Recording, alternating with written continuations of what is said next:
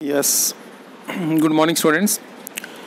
In this part, we will cover about uh, the topic heart and conducting pathway of heart. Before going to start our topic, just have a recall uh, about uh, blood. Blood is a mobile connective tissue that connect the different body parts and blood contain different components rbcs wbcs and platelets. Through rbcs wbcs and platelets blood is transferred to different uh, uh, through rbc wbc platelet different functions are uh, maintained by our body and blood is transported uh, by the a pumping organ named as heart. So let's start a topic heart heart is the main pumping organ and uh, the location of heart is heart is mainly located in thoracic cavity. Thoracic cavity means the chest area the chest cavity. In the chest area heart is located and uh, heart is located in between two lungs and mainly it is slightly shifted towards left side and it has a depression on left side known as cardiac notch known as cardiac notch so and the heart is uh, originated from mesodermal layer now what is mesoderm during the embryonic development there are three different layers ectoderm mesoderm and endoderm and heart is mesodermal in origin means heart जो होगा वो middle layer से जो मास of cell होता है middle layer का embryonic stage में उस मिडल लेयर से ओरिजिनेट होता है हमारा heart yes yes. This is the structure of heart and this is very important uh, for your uh, exam also. You can see there are two shaded area the blue one and the red one. The blue one area has deoxygenated blood in it and the red one area has a oxygenated blood. Now what are what is deoxygenated and oxygenated condition? When the blood contain more amount of oxygen then it is known as oxygenated. And when the blood contain more amount of carbon dioxide then it is known as deoxygenated blood. And deoxygenated bloods deoxygenated blood uh, is carried by different organ towards heart. And oxygenated blood is uh, carried by lung towards heart. So you can see the superior vena cava and inferior vena cava in the right side of uh, heart before going start to before going with the superior and inferior let's uh, let, let's have simple differentiation between right atrium left atrium. You can see heart has four chamber mammalian human heart has four chamber right chamber and left chamber and it is further divided into uh, partitions and known as right atrium left atrium right ventricle left ventricle the upper chambers are known as atrium and the lower chambers are known as ventricle. Right side and left side. In the right side area, the deoxygenated blood is collected. So, right atrium में deoxygenated blood आएगा कहाँ से there, there are two structures superior vena cava and inferior vena cava through superior and inferior vena cava deoxygenated blood uh, from the upper part and lower part respectively is poured into right atrium superior vena cava से और inferior वैने cava से डीऑक्सीजन blood जो होगा वो right atrium में आ जाएगा। Then right atrium से ब्लड जाएगा राइट वेंट्रिकल के पास। राइट आर्ट्रियम से ब्लड जाएगा राइट वेंट्रिकल के पास।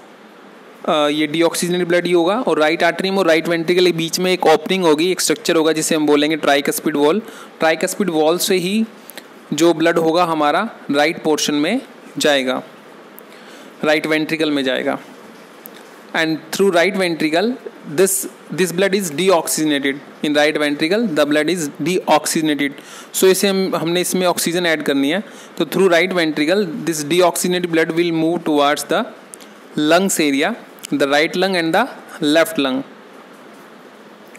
With the help of a structure known as pulmonary artery, you can see right ventricle से ऊपर की तरफ़ पल्मोनरी आर्टरी को हमने ड्रॉ किया हुआ है और पल्मोनरी आर्टरी भी दो पोर्शन में सेपरेट हो रही है राइट पोर्शन में और लेफ़्ट पोर्शन में। राइट वाला राइट लंग की तरफ़ जाएगा लेफ़्ट वाला लेफ़्ट लंग की तरफ़ जाएगा।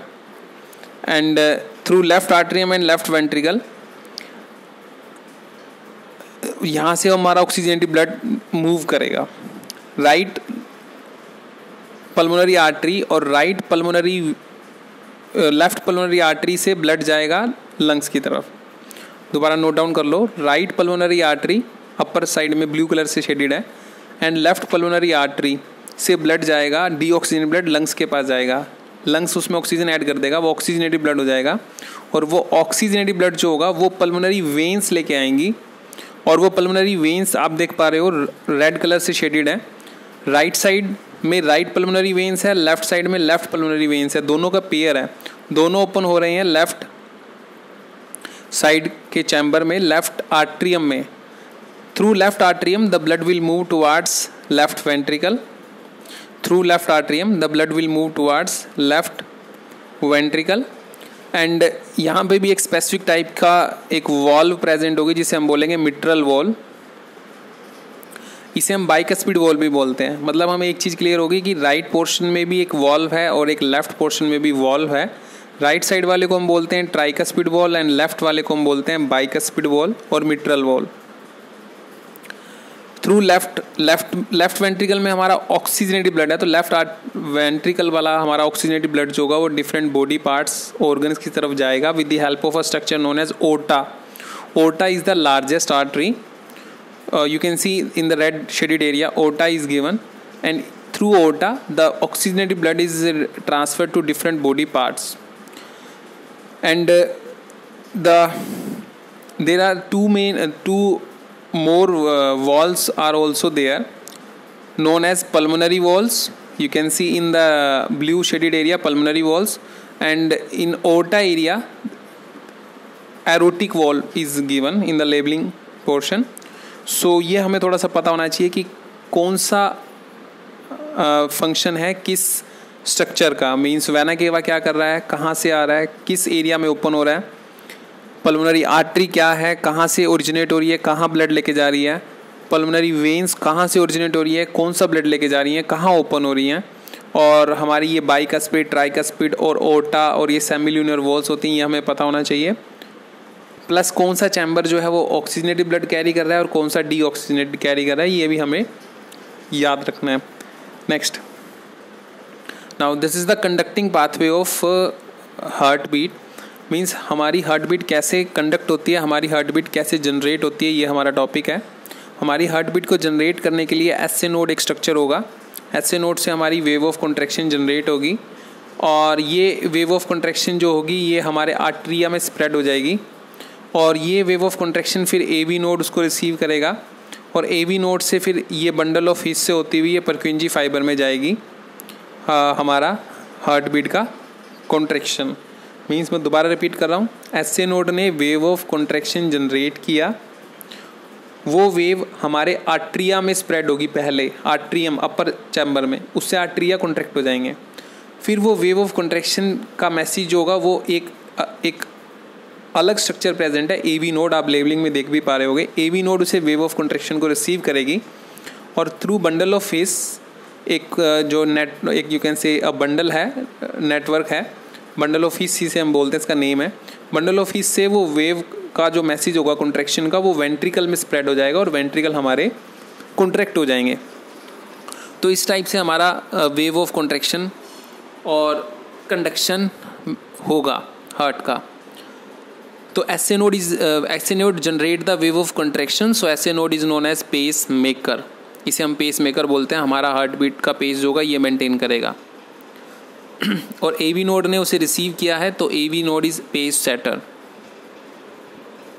yes you can see here there are four chamber of heart right right one and left one right atrium left atrium right ventricle and left ventricle and through S A node wave of contraction is generated और ये wave of contraction आप देख पा रहे हो shaded arrows से दिखाया हुआ है, ये वेव जा रही है आर्ट्रियम में। और इसी वेव को रिसीव कर रहा है ए बी नोड नीचे। उसने वेव ऑफ़ कंट्रेक्शन को रिसीव किया और थ्रू ब्लैक एरोज वो जो है बंडल ऑफ़ फ़िश से होती हुई आगे वेंट्रिकल में स्प्रेड हो रही है। तो ये हमें पता होना चाहिए। Yes this is the same diagram with another angle you can see S A node A V node and this message is uh, transferred to ventricle area with the help of bundle of his and Purkinje fiber. Yes. यहाँ से हमें थोड़ा और अच्छे से clear हो रहा है। एस ए नोड ने वेव ऑफ़ कॉन्ट्रेक्शन को जनरेट किया। वेव ऑफ़ कॉन्ट्रेक्शन को हम इम्पल्स बोल रहे हैं। और उसे रिसीव किया ए वी नोड ने। और वो bundle of His and Purkinje fibre से ट्रैवल करेगा। Yes this is the pathway here you can see S A node S A node ने वेव ऑफ़ कॉन्ट्रेक्शन जनरेट की। उसके कारण आप होरिजोनटल एरो देख पा रहे होगे। आर्ट्रिया में कॉन्ट्रेक्शन हो रहा है तो उसे हम आर्टीरियल सिस्टोल बोलते हैं। ये आप नोट डाउन कर लीजिए। Systole means contraction so arterial systole means atria contract हो रहा है and through S A node there is a wave of contraction will travel towards A V node A V node से A V bundle bundle of His and Purkinje fibre और Purkinje fibre से सारे ventricle के अंदर message आ रहा है contraction का तो वेंट्रिकल भी कॉन्ट्रैक्ट हो जाएगा जिसे हम बोलेंगे ventricle systole so systole is for contraction and diastole is for relaxation ये हम अगली स्लाइड में कवर करेंगे नेक्स्ट टॉपिक में. Yes you can see S node हमारा क्या था? पेस मेकर था. Sometime our SA node uh, may uh, be injured or it may be defected. So artificial pacemaker can be introduced. Artificial pacemaker can be introduced uh, in SA node area you can see pacemaker lead and pacemaker or device is uh, inserted inside the human body. Yes this is the picture of pacemaker before installation and this is the picture of pacemaker after installation. After installation you can see a person is uh, having a, a, circular device uh, in it uh, inside the skin. So this is the artificial pacemaker picture after installation. Yes thank you. This is all about in today's lecture